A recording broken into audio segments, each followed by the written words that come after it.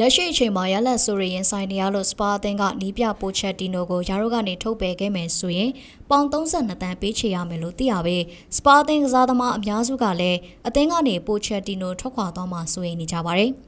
ပြီးခဲ့တဲ့ချန်ပီယံလိအင်ကွင်းပွဲမှာဘိုင်ယန်မြူနစ်အသင်းကို9ဂိုး2ဂိုးနဲ့ဂိုးပြတ်ရှုံးနိမ့်ခဲ့လို့စပါအသင်းနီးပြပိုချက်တီနိုရဲ့အနာဂတ်ပိုပြီးမရေမရာဖြစ်လာပြီလို့သတင်းတွေထွက်ပေါ်ခဲ့ပေမဲ့သူ့ကိုထုတ်ပယ်မယ်ဆိုရင်ပေးချေရမယ့်ပေါင်32သန်းကအတားအဆီးဖြစ်နေတယ်လို့စပါကစားသမားတွေကိုယ်တိုင်ကလည်းပိုချက်တီနိုကိုအသင်းကမထွက်ခွာစေချင်ဘူးလို့သိရပါဗျ။ပြီးခဲ့တဲ့ရာသီမှာချန်ပီယံလိဘိုလိုပွဲအထိရောက်ရှိအောင်စပါအသင်းခြေစွမ်းပြနိုင်ခဲ့ပေမဲ့လက်ရှိရာသီမှာတော့လီဖလားပြိုင်ပွဲကထွက်ထားရသလိုချန်ပီယံလိမှာလည်းနောက်တစ်ဆင့်တက်ဖို့ရုန်းကန်နေရပါတယ်။စပါအသင်းနဲ့နှီးစပ်တဲ့အတိုင်းဝိုင်းရဲ့အဆိုအရပိုချက်တီနိုဟာလက်ရှိရာသီမစတင်ချိန်ကလေးကစပါအသင်းပေါ်သဘောထားပြောင်းလဲနေခဲ့ပုံရတယ်လို့သိရပါတယ်။